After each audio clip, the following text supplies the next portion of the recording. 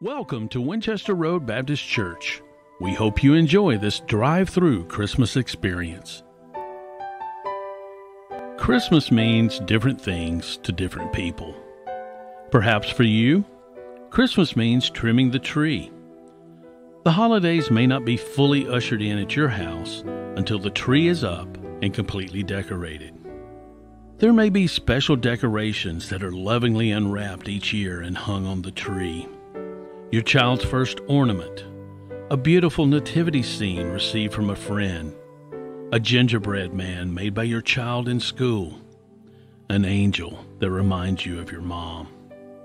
And of course, there's the star that goes on top of the tree, shining brightly for all to see through your window as they pass by your house in search of Christmas lights in the neighborhood.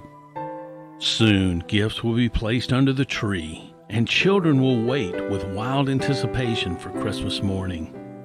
They will run to the tree and find those gifts that have a tag with their name.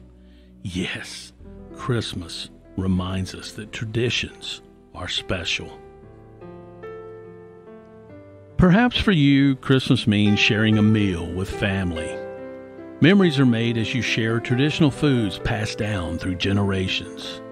Grandma's stuffing recipe, Aunt Sue's cherry coke salad, Dad's favorite pie, and favorite Christmas candies. There may be a good natured argument over who's going to carve the turkey. It could be a time that you travel to visit with extended family. Everyone enjoys swapping stories of past gatherings during the Christmas holiday. It's been difficult this year to spend time with loved ones, so memories of good times shared together are especially precious. Yes, Christmas reminds us that family is important. Perhaps for you, Christmas means gathering the family together to hear Dad read the Christmas story from the Bible. Do you remember when your dad read the story when you were a child? Or when the preacher read it in a special service at church on Christmas Eve? You would sit in rapt attention, listening closely to every word amazed at the miracle that happened so long ago. Maybe as you got older, you took turns with your siblings reading parts of the story.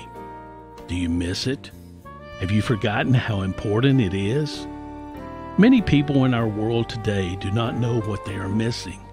It's the greatest story ever told, and no greater truth will there ever be. Many people in the first century missed out too. But there were some who waited and watched expectantly for the birth of their Savior. Prophets had spoken of Jesus' birth in detail more than 700 years before it happened. Let's travel back over 2,000 years ago and experience this amazing story again.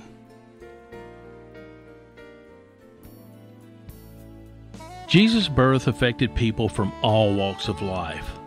There were some shepherds who were in the fields taking care of their flocks.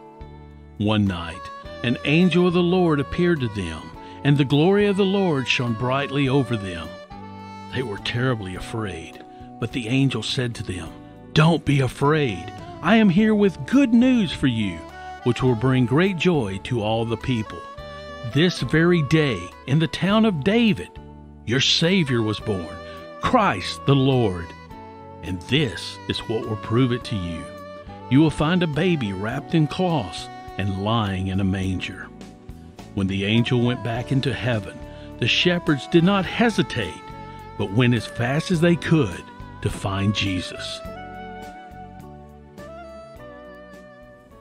There were also some wise men looking for the Messiah by studying the stars. They came to Jerusalem asking about a baby that was to be the king of the Jews because they had seen his star in the east and wanted to worship him. When King Herod heard about this, he was very upset. So Herod called these visitors from the east to a secret meeting and found out from them the exact time the star had appeared. Then he sent the wise men to Bethlehem to make a careful search for the child. He told them, When you find him, let me know so that I too may go and worship him. As you may know, these wise men found the baby Jesus, knelt down and worshiped him. They brought gifts of gold, frankincense, and myrrh and presented them to him. These men were given wisdom by God in a dream, and they did not go back to see King Herod. But why was Jesus born in Bethlehem?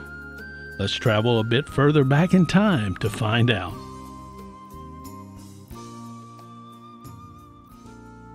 Near the beginning of the first century, Emperor Augustus ordered a census to be taken throughout the Roman Empire. Everyone had to go to his own hometown and register. Joseph went from the town of Nazareth in Galilee to the town of Bethlehem in Judea, the birthplace of King David, because he was a descendant of David. He went to register with Mary, who was promised in marriage to him. She was pregnant by the Holy Spirit, and while they were in Bethlehem, the time came for her to have her baby. They searched everywhere for a place to stay, but all the inns were full. Joseph must have been frantic, searching for a place for his wife to give birth. The only place available was a dirty barn. She gave birth to her first son wrapped him in cloths, and laid him in a manger. This was no ordinary baby. This was God's one and only Son. God loved us so much that He sent His Son, Jesus, to the world as a baby. This baby would grow up and die for our sins so that we could live forever with God. Have you accepted what God has offered to you in love? You see, that's what Christmas is all about. Family, traditions, trimming the tree, and giving gifts are all a part of Christmas too. And that's okay. But if we do all that and forget the sacrifice that God made for us, if we forget that Jesus, God's Son, gave his life for us, we have missed the true joy of Christmas.